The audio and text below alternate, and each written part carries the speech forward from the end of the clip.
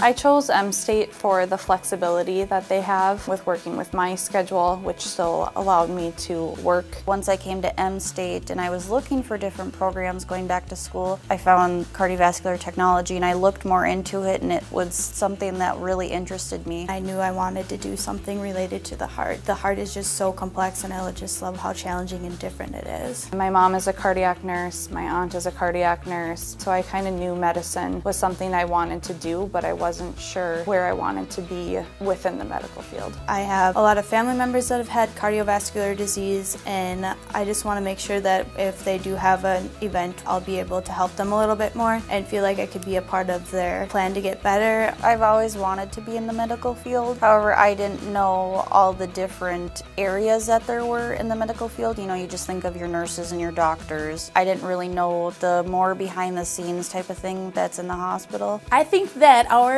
cardiovascular program here at M-State stands out because we were sought out by two of the major local hospitals. They wanted us to get this program started. They are such huge supporters of our students. They're amazing and they're always wanting to help, make donations. I mean, you can see around the room, our lab is amazing. With the setup that we have here in the lab, it's just been a huge part of being able to transition to the hospital. It doesn't make it so intimidating. You know all the tools that you're going to be using, you're comfortable with it before you even go into the hospital. When we're at the hospital, we are scrubbing in with our preceptor. You stand right next to the doctor and you can help load the catheters or put the wires in. Our last semester doing clinicals, we get to be at one hospital with the same cardiologist the same cardiovascular techs, and work with them the whole 16 weeks. You're being supervised by another staff member, and they really help you learn and feel comfortable with doing the hands-on techniques that you learn in class. If they take the time and get to know people and make connections in the business, the sky's the limit for them, even with this degree itself. The paths you can take